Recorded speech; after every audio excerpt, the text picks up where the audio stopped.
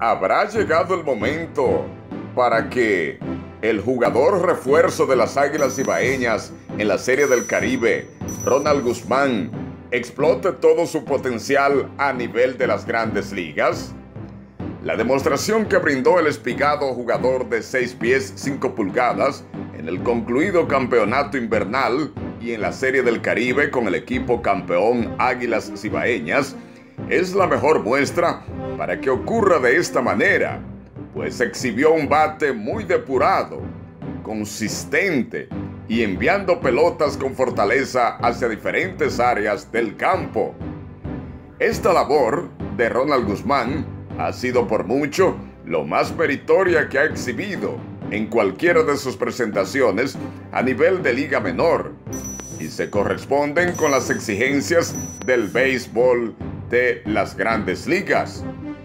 El escaso ruido que había provocado, al menos en sus dos primeras incursiones en la pelota invernal dominicana, se transfirió en un desempeño estable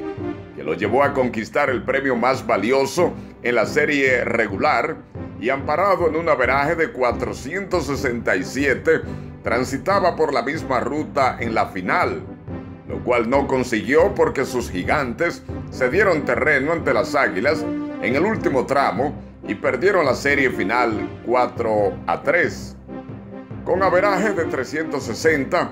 de 111-40, 5 jonrones y 13 remolcadas, el oriundo de La Vega logró uno de los desempeños más sobresalientes de pelotero alguno en los últimos tiempos en el pasatiempo invernal dominicano, exhibiendo un bate bien depurado e incluso accionó en cada uno de los partidos de los gigantes del Cibao. Ahora, tras demostrar su capacidad para batear, que también lo hizo en la Serie del Caribe con las Águilas en su calidad de refuerzo, Ronald Guzmán, una de las firmas mimadas de los vigilantes, tiene el reto de brindarle continuidad a su labor, pero esta vez con el equipo grande, aquel en el que promedia solo 230 de 721-116 en tres temporadas.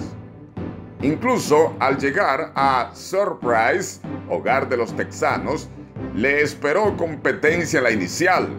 pues el club adquirió a Nate Lowett desde los Rays de Tampa Bay, quien desde ya sería una amenaza para el hombre que pactó por 3.9 millones de dólares en el 2011 con el equipo de Texas. Empero, Ronald Guzmán no está por ceder terreno y en su primer turno en esta pretemporada, el pasado martes, honroneó al primer picheo frente a Lucas Giolito, estelar de los Medias Blancas de Chicago.